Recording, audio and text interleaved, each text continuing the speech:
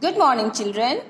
Today our subject is art and craft and this is your art and craft book and in this book you have to open page number 13. So children this is your page number 13. So what we have to do? We have to do thumb printing. We have to do thumb printing in the hippopotamus. See this is hippopotamus.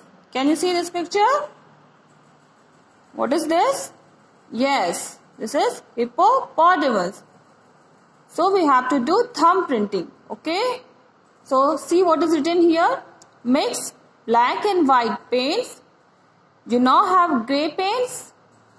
Dip your thumb in it and color the hippopotamus. So children you have to mix white and black paints and then you will get grey paint.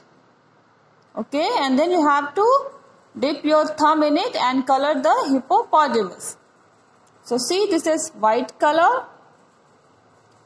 You have to take watercolor and this is black color.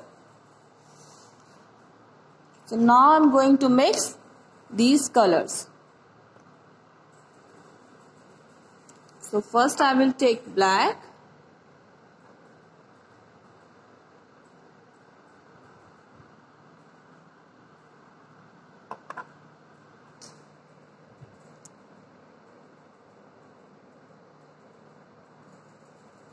now I'm going to mix these colors.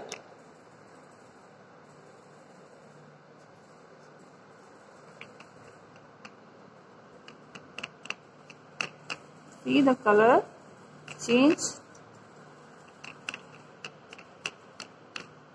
Now turn to gray color.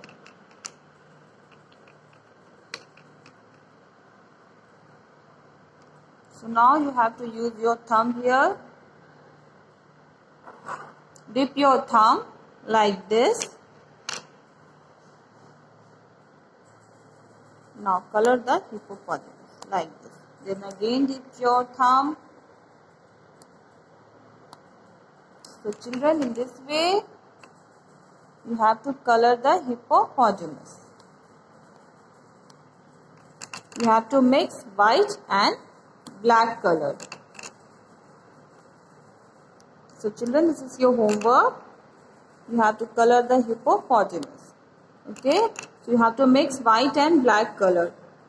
And then you will get grey color.